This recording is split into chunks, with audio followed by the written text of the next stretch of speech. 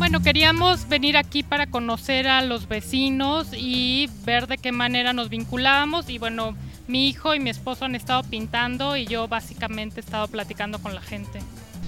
Pero es fascinante cómo de pronto personas que no han tomado nunca un pincel lo comienzan a agarrar y empiezan a darse cuenta que esa estética que tal vez no es la más pulida ni la más grandiosa, es una estética que refleja, que sí nos refleja a nosotros, ¿no? Y yo creo que en ese sentido el muralismo y los movimientos sociales ah, sirven de tanto que podría hablar incluso de un empoderamiento creativo, ¿no?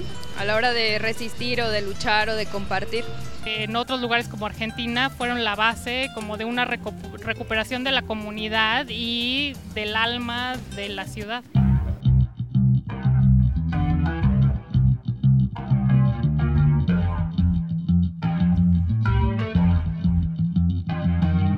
Eh, que hay un sentido de pertenencia, porque muchas veces pues todos estamos en colonias, pero no conoces ni a tu vecino, ni quieres saludarlo, ni, ni verlo a los ojos.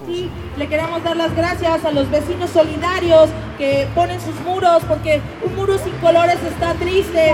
No vamos a atemorizarnos, no vamos a quedarnos en nuestras casas como si esto no hubiera ocurrido, o como si cerrando los ojos esto ya fuera a dejar de pasar. La colonia Narvarte está de luto por lo acontecido el 31 de julio, apenas hace hace unas semanas.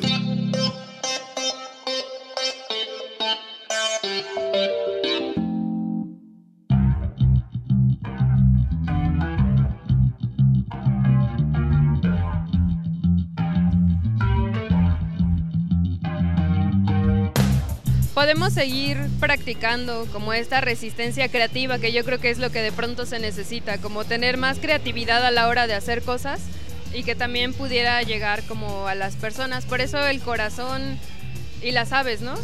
El corazón siempre es como un símbolo de resistencia y es por eso que lo plasmamos acá y va a ir acompañado con la frase lo que no se nombra se olvida y vamos a poner el nombre de, de Nadia Vera que no generara resistencia o polarización, que no fueran incluso los mismos colores blanco, rojo, negro, ¿no? Y que tuvieran de pronto esta mensajes violentos como a las personas que lo ven, sino que fuera al revés, como generar otro ambiente en las calles. Entonces, esperando que este sea el primero de muchos y que las calles sean más coloridas y tengan mensajes que realmente vienen de nosotros, pues me parece un proyecto muy importante.